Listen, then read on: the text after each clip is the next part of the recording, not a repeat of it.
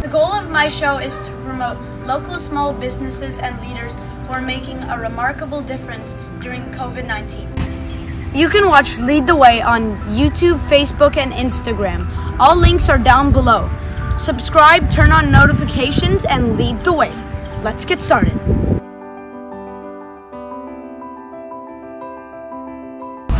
There's a saying a great coach is hard to find, difficult to part with, and impossible to forget.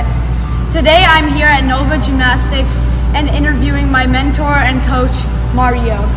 Who has, who has also had a great career both as a gymnast and as a coach. Mario, I started training in gymnastics at the age of four.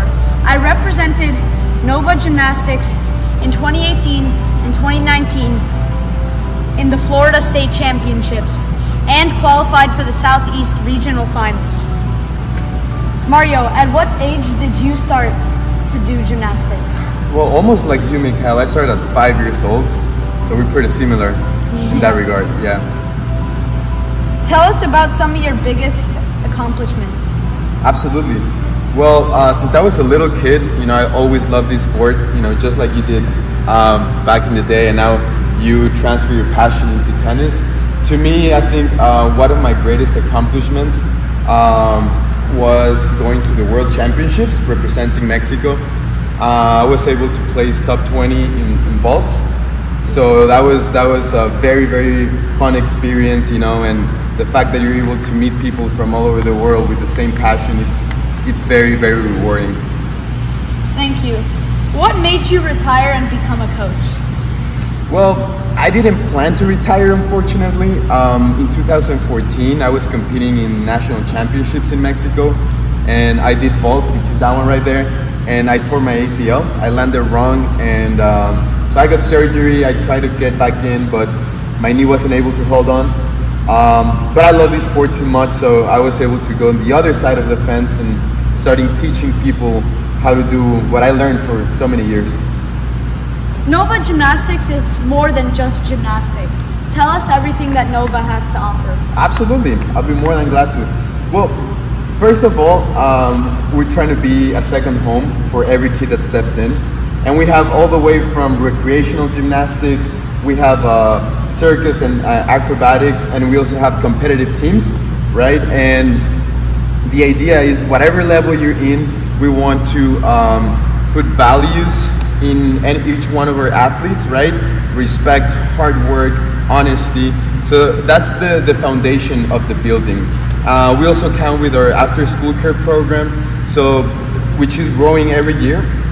And we offer gymnastics, we offer um, computer lessons. So basically, an alternative for people um, to place their kids in a safe and a good place to be each afternoon. Due to COVID 19, so many businesses have shut down. Some businesses, such as Nova, found creative ways to stay engaged and made their students still keep training. Tell us about your guys' online classes and how people can join them. Absolutely. Well, thanks for, for the promo, first of all. Um, yeah, so basically, when all this happened, you know, our first thought was to keeping the community engaged. I think that's one of the, you know, one of the, the main reasons why we did this. And just like you said, uh, every afternoon at 5 p.m., Monday through Friday, uh, we offer um, live stream Zoom class, which um, the website is novagymnastics.fitness. So you can go there and you can just purchase it through the website. And it's been really fun. You know, I think we've had um, an average of 10, 15 people per week. And it's really cool because, you know, you can see what everybody everybody's doing.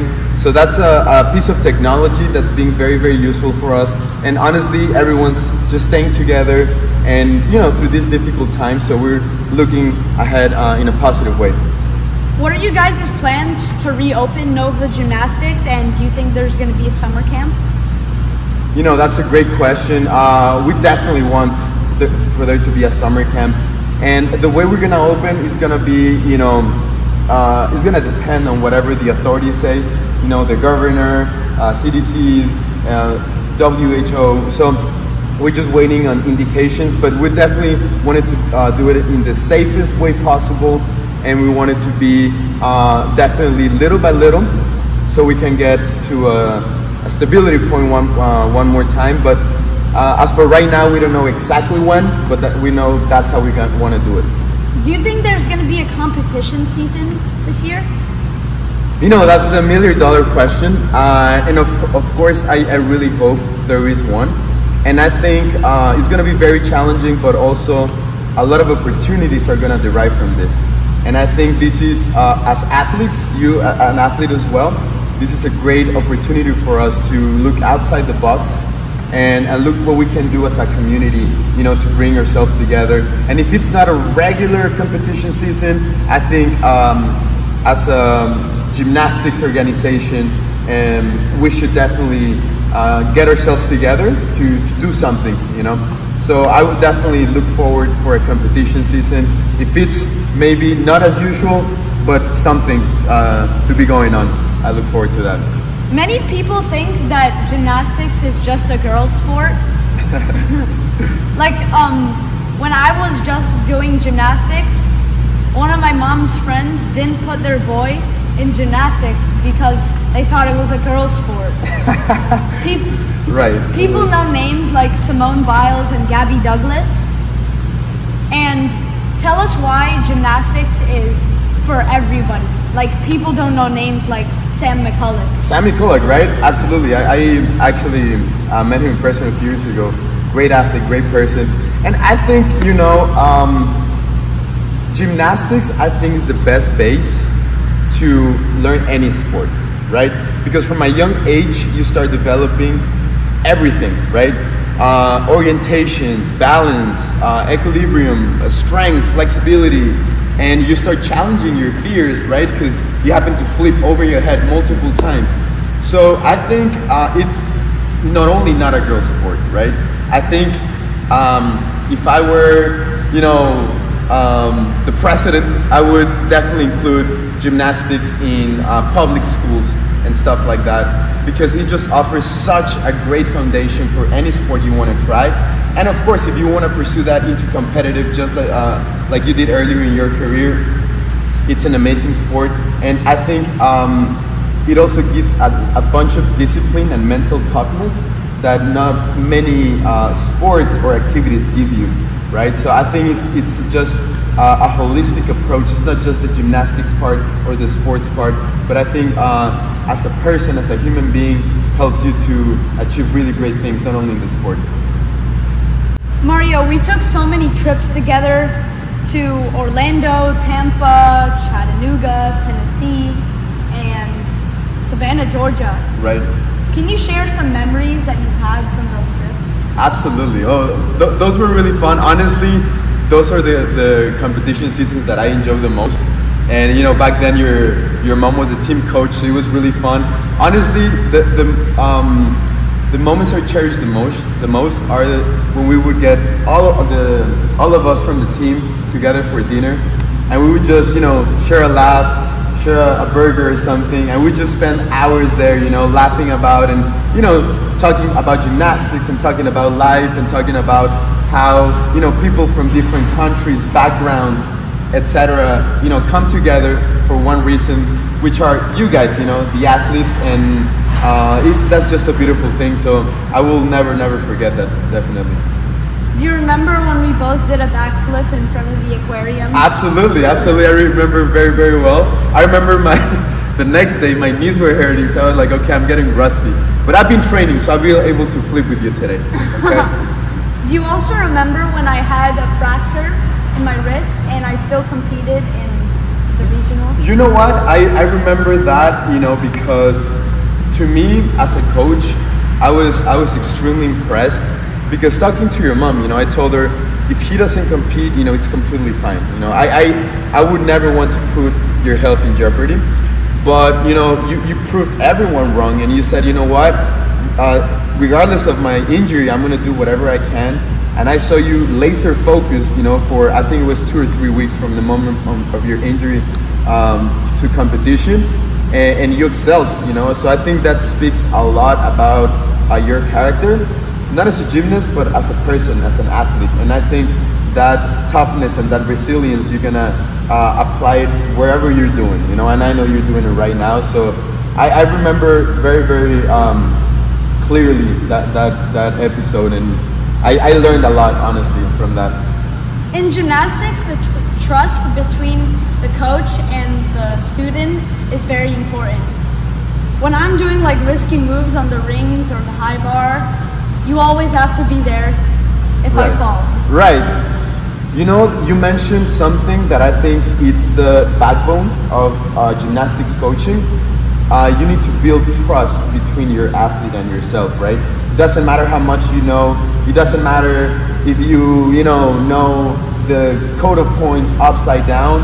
If you don't build that trust, and trust comes with a relationship, you know, it'll be really, really hard. So I think uh, a successful coach, that's what he does. It builds a relationship and it builds trust with their athletes, and that way they, it can push them safely, uh, but to their limits and keep pushing those boundaries. And how can the kid and the coach build trust? You know what? That's an excellent question. And uh, my answer might not be uh, the standard answer you're looking for, but uh, the, the way I um, joke around with the kids is that you gotta jump off the plane, right? So when you're, um, you know, jumping off a parachute, and it's your first time doing it, you don't, you don't know what's gonna happen, you know, but you've, you've trained for that, right? And either you're jumping with someone that you know it's qualified for it. At the end of the day, you gotta jump. So that's uh, always an analogy that I bring, especially with the younger athletes that you know are a little bit scared of trying new things. So it's, it's just you know uh, looking them in the eye, and, and they need to to feel your confidence, and they need to feel that you know what you're doing, right? So that's the first thing. You need to know what you're doing. But once that happens, it's just you know talking to them and basically like a, um, a bird mom throwing their kid up the nest, you know, they gotta fly. So it's kind of the same thing, you know, always, you know, you gotta be safe and you gotta understand, you know, biomechanics and all that stuff. But at the end of the day, I think it's just that, uh, knowing how to talk to the athlete. All right, ready? Yeah. Go.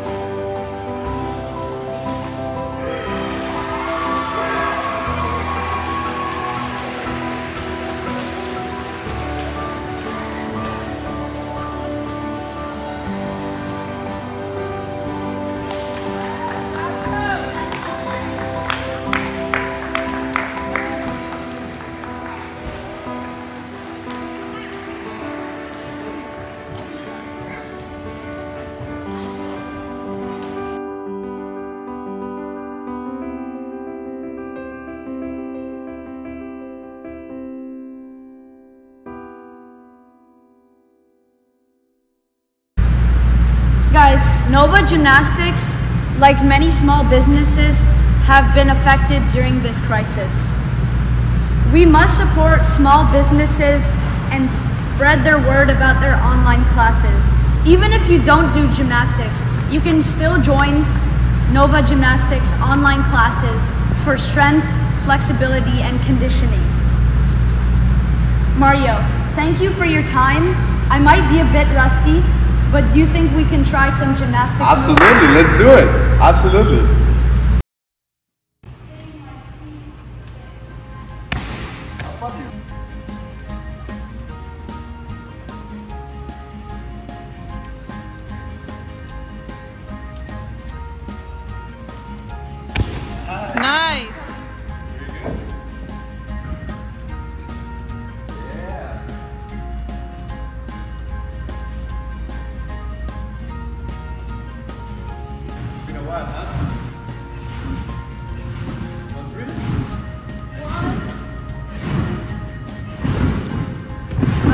nice.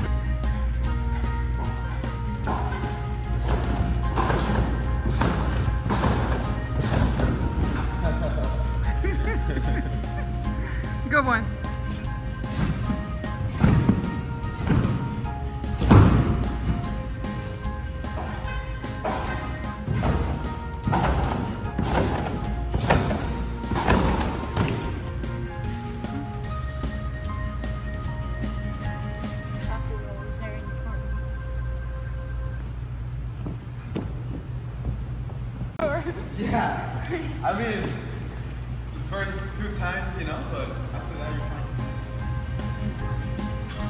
It's just like the third.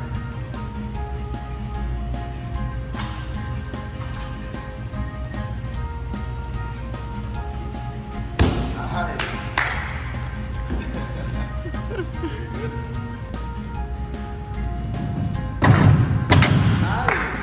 That was pretty good. Nice.